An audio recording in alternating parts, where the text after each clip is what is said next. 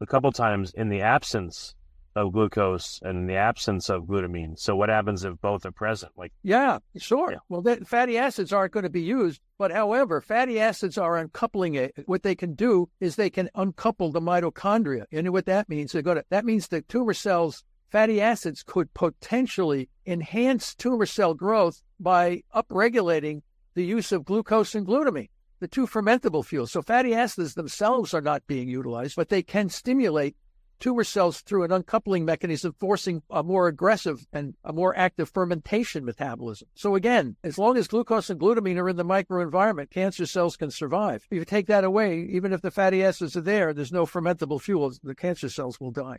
Hmm. Um, now onto glutamine. I've heard again for someone that doesn't know glutamate versus glutamine. What's the difference, and where is glutamine produced and and utilized in the body? Well, glutamine is the most abundant amino acid in our body. If you look at the bloodstream, glutamine is like 5.5 millimolar, 500 micromolar.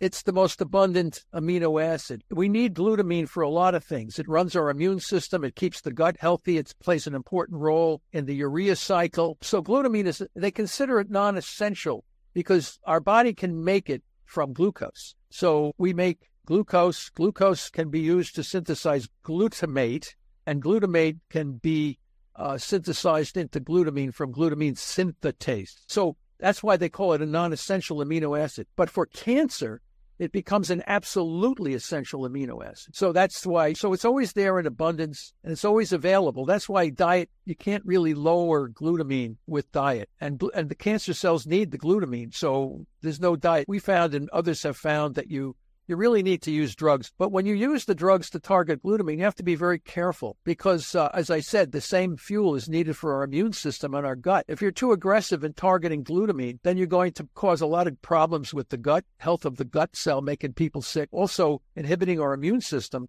uh, from doing its function and picking up dead corpses, uh, dead tumor cells. So that's why we developed the press pulse therapeutic strategy for managing cancer because you can press glucose way down. The body, the body basically doesn't need glucose except for a few red bloods, and they can survive on the most minimal level of glucose. So you lower the glucose with diet or even some small amounts of glucose inhibiting drugs, glycolysis inhibitors, but you really need to use a drug to target glutamine but if you do it too aggressively and don't understand the biology of the problem, then you could harm the patient. So, so we do pulsing. So we just hit them for a short period of time, pull off the glutamine targeting drug, allow the system to recover, and then we, we hit them again. It's it's a slow, degraded process by which you can gradually eliminate the tumor cells, and you move this patient through the system. So not, nothing is done too aggressively. It's a slow degrading of the tumor while enhancing the health and vitality of the normal cells because they can burn ketones. This is how we all survived in the Paleolithic period, we were all in some level of nutritional ketosis because there weren't availability of high carbohydrate foods in abundance in our in environment. So we're just so okay. So so what happens um, if you knock down glutamine? For how long does it become a problem? And again, what are what are the uh, sequelae? What are the, the problems that happen if it's kept down for too long? Yeah, well, you, you start getting immune system problems. You start getting gut issues. You know, your microbiome gets blasted. So you start hammer, you start making a, a person unhealthy because you're inhibiting some of the key physiological urea cycle, as I said. I mean, this is mm.